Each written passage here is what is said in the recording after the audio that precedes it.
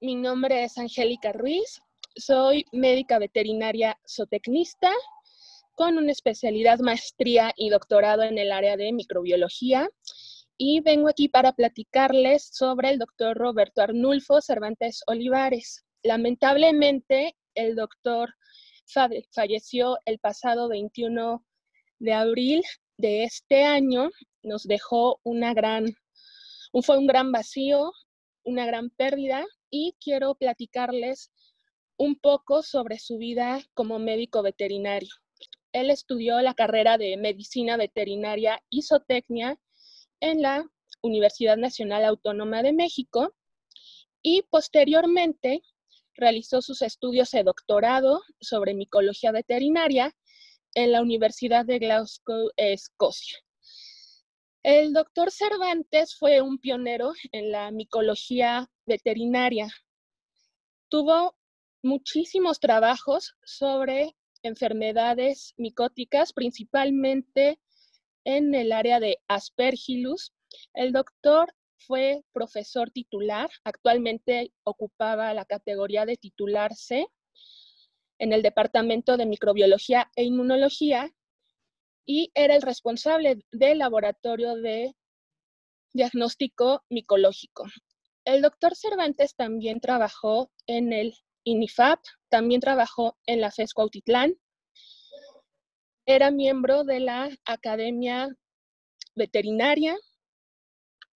Y bueno, lo que yo les puedo decir de su perfil profesional es que el doctor siempre estuvo muy encaminado a tratar de explicar la patogenia y la importancia que tenían los hongos tanto filamentosos como levaduriformes, o sea, levaduras como cándida, Candida albicans, diferentes especies, Candida glabrata, crucei, etc.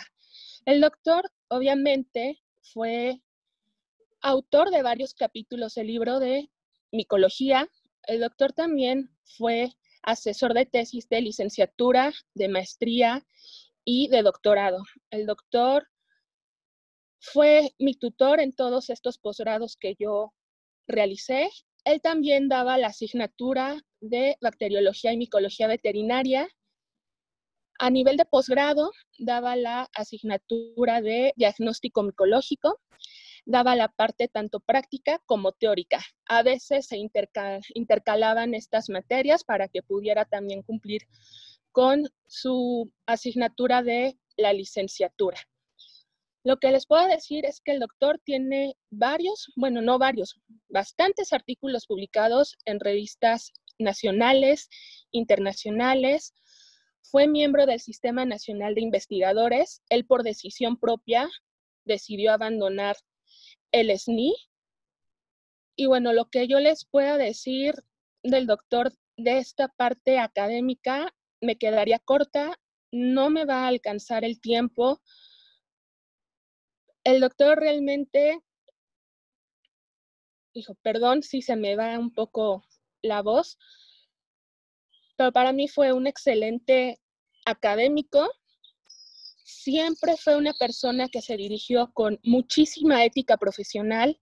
Desgraciadamente, sabemos que en todas partes se da, pues a veces que la ciencia, la investigación, a veces no, no, es, no se conduce de una manera tan ética como debería de ser. Es una obligación que siempre se dirija así la ciencia, pero el doctor siempre lo hizo de una manera correcta, dándole crédito a todos sus colaboradores, respetando la coautoría de cada uno de los participantes en sus trabajos de investigación y siempre nos daba las armas para que cada uno de sus alumnos, de sus tesistas, nos fuéramos a investigar más allá de nuestro tema. A él no le gustaba que nos quedáramos en algo básico o en algo muy corto. Siempre nos daba el impulso para seguir investigando más allá de nuestros propios temas de tesis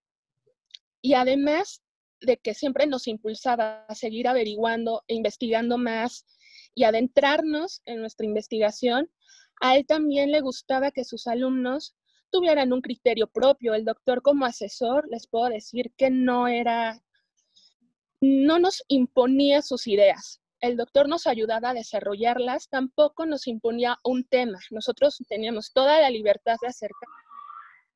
Doctor, nos interesa investigar esto y nos escuchaba, nos daba el tiempo para escucharnos, para platicarles nuestra, nuestras ideas, para saber qué habíamos investigado y el doctor nos ayudaba a moldearlo. O sea, él, jamás nos imponía de que, ah, tenemos que averiguar tal cosa, pues así tiene que ser y así va a ser porque lo digo yo. No, para nada. El doctor siempre nos, nos guiaba.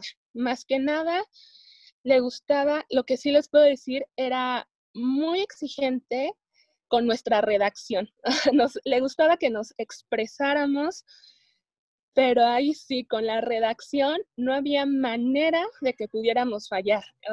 A sus alumnos de licenciatura siempre les dejaba leer un libro cada mes, temas totalmente ajenos a la medicina veterinaria. Yo necesito que vean más allá, que tengan cultura general, porque luego no se puede ni siquiera, ustedes ya pueden titularse, tener todos los grados que quieran, pero de cultura general, no, a veces están muy cortitos. Entonces el doctor siempre nos impulsaba. También recuerdo que el doctor fue miembro del consejo técnico de la facultad y él me enseñó que existía un librito o muchos libritos que era la legislación universitaria y sabía, era una persona sumamente culta, sabía de cualquier tipo de protocolos para cualquier ceremonia, alguna comida, cena. Al doctor, bueno, no tengo más que decir que lo admiro muchísimo, lo voy a admirar toda la vida. Y se nos fue una excelente persona. No sé por qué pasó lo que tenía que pasar, fue algo totalmente inesperado.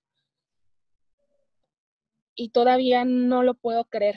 Es, es una gran pérdida, pero por lo menos sus alumnas que quedamos todavía vigentes, a pesar de que yo ya me gradué hace dos años del doctorado, tenemos un gran compromiso, que es continuar con la micología veterinaria. Aunque yo no soy micóloga, soy bacterióloga, el doctor, tengo ese compromiso moral junto con sus alumnas Sofía y Verónica, que eran sus alumnas que querían ingresar al doctorado una vez pasando esta contingencia, obviamente con el doctor, ellas sí micólogas. Es algo que nos hemos prometido y que hemos hablado muchísimo, continuar con su gran legado. Entonces, y yo sé que me estoy quedando muy corta en todo lo que ha hecho, pero son tantas cosas que no me va a alcanzar el tiempo y no se me viene tantas cosas a la mente que ha hecho el doctor. Bueno, un día como hoy, 27 de mayo de 1952, nació el doctor Cervantes. Hoy cumpliría 68 años de edad y les voy a dar ciertos datos que yo sé que muy pocas personas conocían. Bueno, el país favorito del doctor Cervantes era México y también Escocia, país en donde realizó su doctorado. Su grupo favorito eran los Rolling Stones. Su cantante favorito era Elton John. Su auto favorito eran los MG antiguos. De los más clásicos, esos eran los que les gustaban. Lo que sí saben muchos de ustedes es que el doctor amaba el fútbol, pero a los Pumas siempre los llevó en su corazón. Bueno, dentro de sus otras actividades favoritas era ver varias películas mexicanas. Pedro Infante era su actor favorito.